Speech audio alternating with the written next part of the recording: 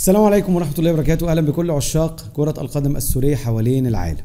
ناس كتير خلال اليومين ثلاثة اللي فاتوا ربطت ما بين اسم مدرب من أهم المدربين العرب وتدريب المنتخب السوري الأول للرجال خلفا لهيكتور كوبر. المدرب اللي هتكلم عنه النهاردة تم توجيه دعوة رسمية ليه لتدريب المنتخب السوري.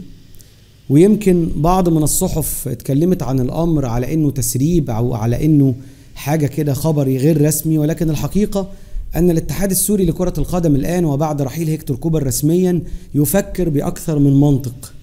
المنطق الأول اللي كلمتكم عنه امبارح وهو مدرب أسباني عشان يجيد اللغة الأسبانية ويقدر يتواصل مع اللاعبين اللي من أصول أمريكا اللاتينية تحديدا الأرجنتين واللي عندنا منهم سبعة بالمناسبة. على الناحية الأخرى مدرب برتغالي فيبقى إلى حد ما ثقافته قريبة من الثقافة الإسبانية والأرجنتينية وعنده لغة برتغالية إلى حد ما بيفهم الأسباني. رقم ثلاثة مدرب إنجليزي عشان يبقى عنده لغة إنجليزية ويقدر يتواصل مع اللاعبين المحترفين. مش عارف ليه إحنا هل إحنا بنختار مدرب ولا بنختار مترجم يعني؟ مدرب ولا مترجم؟ يجي المدرب ومعاه مترجم عادي مش مشكلة يعني. ما إحنا كان عندنا هيكتور كوبر بيتكلم إسباني وكان معاه مترجم ومساعد مدرب الكابتن محمود فايز. بمناسبة الكابتن محمود فايز والكابتن عصام الحضري ناس كتيرة جدا جدا من أهلنا في سوريا طلعوا امبارح بإشاعة وقالوا إن الكابتن عصام الحضري حذف كل بوستاته على صفحته الرسمية على الفيسبوك البوستات الخاصة بمنتخب سوريا. والكلام ده غير صحيح بالمرة. أنا دلوقتي بقلب في صفحاته موجود المعسكر الأخراني موجود وهو بيتمرن مع المنتخب السوري موجود وهو مع حراس منتخب سوريا أحمد مدنية واستبان جليل ومكسيم صراف. موجود وهو إلى جوار قائمة منتخب سوريا الأخيرة الموسعة واللي اختارها هيكتور كوبر. عصام الحضري لم ولن يكون بتلك الحالة من الندالة ابدا. مرحلة استلامه لتدريب المنتخب السوري هي مرحلة رسمية معتمدة في ال CV بتاعه فليه هيتنصل منها؟ ليه هيطلع ويقول أنا ما كنتش بدرب منتخب سوريا؟ وبعدين ده طلع في لقاءات كتيرة جدا في قنوات بي إن سبورت أيام بطولة كأس آسيا واتكلم في أكتر من برنامج في قطر. وبالتالي يعني أعيد النظر في تلك الشائعات الغير حقيقية بأي حال من الأحوال. تعالوا نعود إلى مدرب منتخب سوريا اللي تم التواصل معاه امبارح وأول امبارح ويقال أنه رفض ويبدو أنه رفض تدريب المنتخب السوري. المدرب اللي بتكلم عنه هو مدرب عراقي من خريجي جامعة بغداد. اسم كده كبير في عالم التدريب. عنده 63 سنة. لا يقبل بأي حال من الأحوال الهزار ولا يقبل التدخل في عمله ولا يقبل إن حد يقول وجهة نظر وهو موجود. عايزيني أستلم المنتخب بتاعكم منتخب سوريا يدوني صلاحيات كاملة. أعمل اللي أنا عايزه وأجيب اللاعب اللي أنا عايزه. وممكن عادي أتجاوز عن الست لعيبة بتوع الأرجنتين أو السبع لعيبة. عادي جدا جدا. ومحدش ليه ان يتدخل في شؤوني. أنا بتكلم معاكم عن مدرب عراقي من سامراء.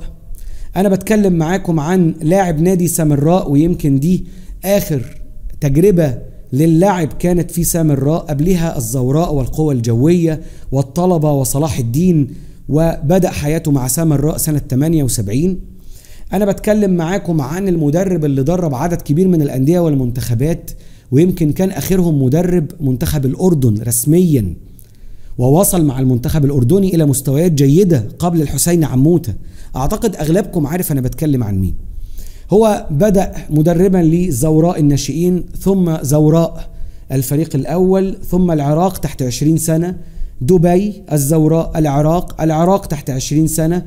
درب منتخب العراق 2001 درب الزوراء ثم عاد لتدريب العراق ثم مدربا للعراق تحت سن 23 سنة ثم عاد ودرب الزوراء منتخب لبنان منتخب العراق في بطولة غرب آسيا الأنصار النادي الفيصلي الأردني والعراق الأردن بنياس البحرين الوحدات الأردني أو الوحدات الإماراتي ثم الأردن منتخب الأردن من 2021 ل 2023 وهو الآن بدون نادي.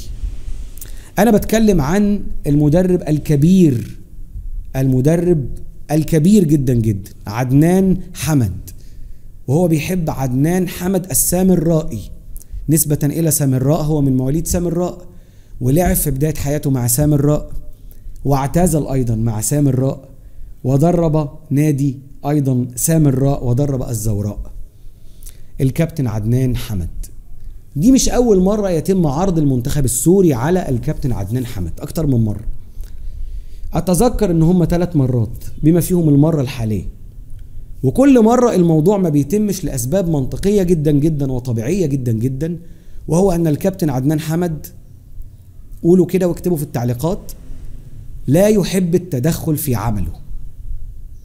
على ناحية أخرى الاتحادات السابقة إن كان اتحاد السيد فادي الدباس أو اتحاد السيد حاتم الغايب أو لجنة تسيير الأمور أو اتحاد السيد صلاح رمضان الحالي لا يحبوا إن يتدخلوا في العمل بتاع المدرب وليهم قرار وليهم وجهة نظر. ومدير المنتخب السوري ليه وجهه نظر وقائمة المنتخب السوري يتدخلون فيها مرة واثنين وثلاثة. وعندهم لجنة لاعبين محترفين نحترمها ونقدرها ولكن خد اللاعب ده واللاعب ده واللاعب العلاني واللاعب الأرجنتيني واللاعب السويدي واللاعب النرويجي وبالتالي المدرب بيكون أمام عشر لعيبة كلهم ينفعوا يلعبوا مع المنتخب السوري. طيب أنا هلعب مين ومش هلعب مين؟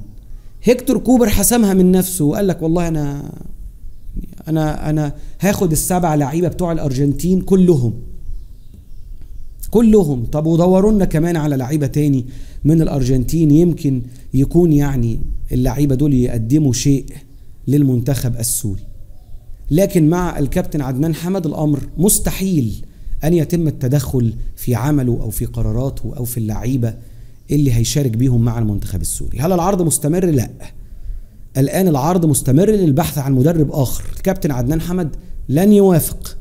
على تدريب المنتخب السوري تحديدا بعد تجربته الغير موفقة إلى حد كبير مع منتخب الأردن. آه هو كان ليه الفضل في إن هو عمل المنتخب الحالي اللي خده الحسين عموتة وتصدر بيه على رأس مجموعته على منتخب السعودية اللي كان بيلعب في كأس العالم منطقي. ولكن لا هو تجربة الأردن قد تكون التجربة الأخيرة ليه في داخل الدول العربية. ويحتاج إلى تجربة أكبر وهو طبعا دلوقتي بدون نادي.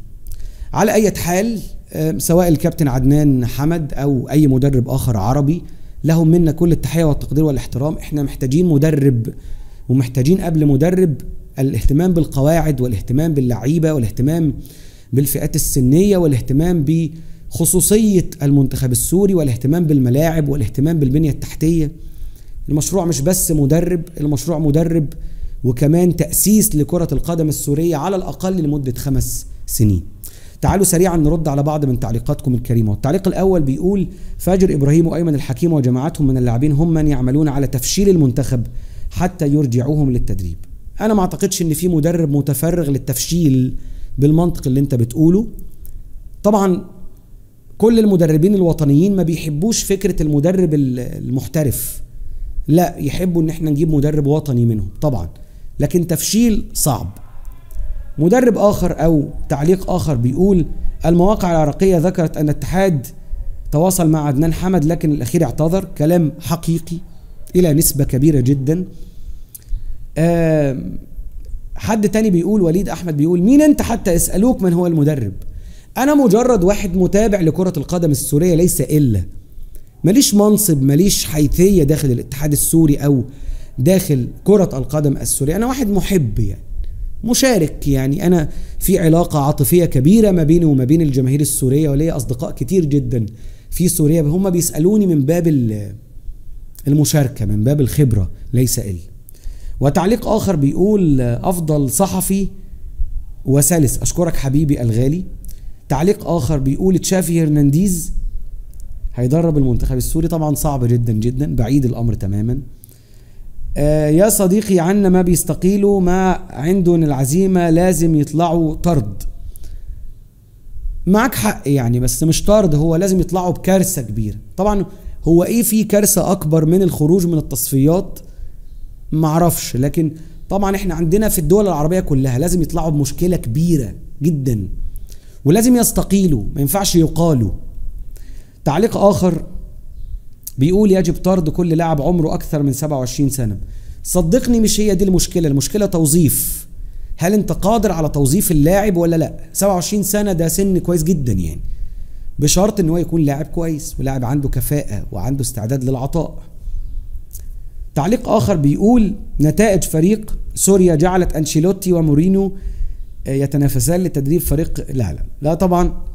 طبعا أنتوا بتضحكوا وأنا معاكم يعني بس صدقوني إحنا مش محتاجين أنشيلوتي أو غيره إحنا محتاجين مدرب بس يراعي ربنا. محتاجين مدرب يكون مستقل تماما محتاجين مدرب يقول أنا أقدر. محتاجين مدرب يقول أنا قراراتي مستقلة ومحدش يتدخل في عملي. وأول ما حد يتدخل في عمله يعترض ويسيب التدريب مش يكمل زي ما عمل هيكتور كوبر أو غيره. في نهاية الحلقة أشكركم جدا على حسن المتابعة سواء كان الكابتن عدنان حمد أو غيره. نتمنى التوفيق للمنتخب السوري. دمتم في أمان الله. صوما مقبولا وافطارا شهيا للناس اللي صايمة النهارده يوم التروية. غدا إن شاء الله بإذن الله يوم عرفة. ما تنسوش تصوموا وتدعوا لنا بالله عليكم دعوات كده عامة. ربنا يوفقنا ربنا يصلح لنا شأننا ربنا يوفقكم ربنا يوفق المنتخب السوري. قادر على كل شيء ربنا طبعا. والسلام عليكم ورحمة الله وبركاته.